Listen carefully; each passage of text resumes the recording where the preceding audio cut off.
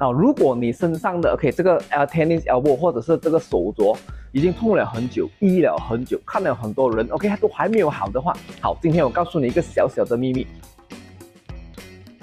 Hello，欢迎来到 Ben Physio 的健康小贴士啊。好，今天我要讲一个很奇怪的东西啊。那如果你身上的 OK 这个呃 tennis elbow 或者是这个手镯 OK 或者是这个妈妈手，对不对？已经痛了很久，医了很久，看了很多人 OK 都还没有好的话，好，今天我告诉你一个小小的秘密。OK，因为很多时候我们一看到妈妈手就以为只是妈妈手，我们一看到 tennis elbow 就以为只是一个妈妈啊 tennis elbow。其实有时候有二十八千或以上的这个原因呢，其实它是从我们的肩胛骨过来的。肩胛骨就是我们每一个人的两个翅膀那边过来。为什么呢？因为在这个肩胛骨的附近哦，它有最少有三个肌肉哦，它是跟这个 C5 cervical five cervical six 第五节跟第六节的脊椎骨有关。然后这五第五节跟第六节的脊椎骨呢的神经线哦。都会跑到这个 tennis elbow，还有我们的这个妈妈手的，所以哦，如果要真正的医治我们妈妈手的，第一，你的物理治疗师要能够帮你检查你的翅膀、你的这个肩胛骨有没有问题。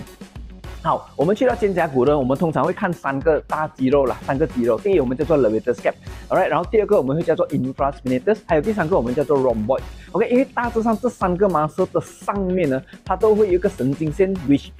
神经线呢是控制我们的第五和第六节颈项的，OK，所以当这三个肌肉有问题的时候呢，你就会出现好像妈妈手又不是妈妈手，好像 tennis elbow 又不是 tennis elbow 的问题，好吗？好，你学会了吗？